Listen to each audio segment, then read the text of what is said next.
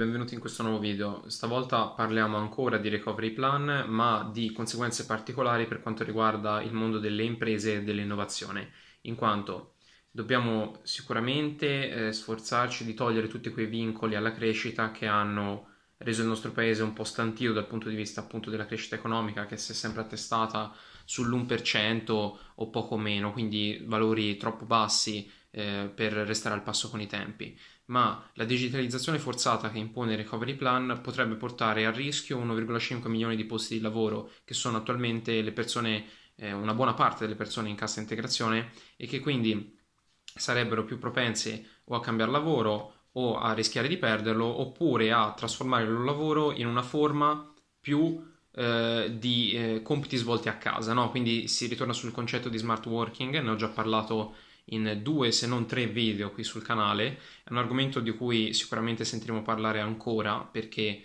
fondamentalmente il lavoro da casa può funzionare ma fino a un certo punto ehm, è chiaro che si parla di una futura diminuzione dei colletti bianchi, almeno questo è uno scenario possibile, in quanto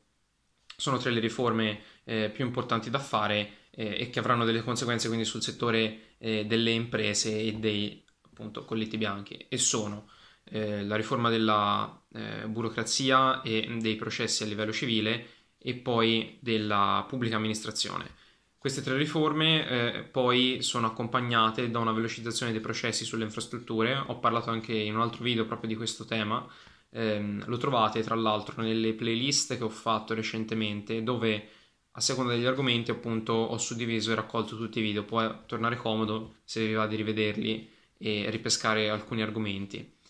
Quindi la situazione è fondamentalmente di una forte prospettiva di crescita, però in parallelo c'è il rischio di questo milione e mezzo di posti di lavoro che grazie alla digitalizzazione, se non vogliamo forzata per l'Italia perché è un po' più indietro agli altri paesi, potrebbero andare persi. Eh, quindi la digitalizzazione è un bene o un male, staremo a vedere eh, sulla base di come viene utilizzata questa prima tranche di fondi eh, e sta poi da vedere anche il fatto di come verranno distribuite le altre somme di denaro del recovery plan e secondo quali criteri appunto l'Unione Europea li erogherà. Eh, è chiaro che il mondo del lavoro a livello dell'high tech, della, dell'interconnessione, ehm, necessita tantissimo di un, di un, avanzamento, di un aggiornamento delle, delle, qualità, oltre che delle competenze sia umane che meccaniche. Quindi eh, sicuramente è figo, fa figo vedere ambienti di lavoro con strutture avanzate, tecnologiche, però bisogna vedere quanto queste sostituiscano o meno il lavoro umano. Sicuramente è un argomento su cui potrei tornare e lo teniamo sotto osservazione. Spero che questo video vi sia piaciuto e ci vediamo alla prossima.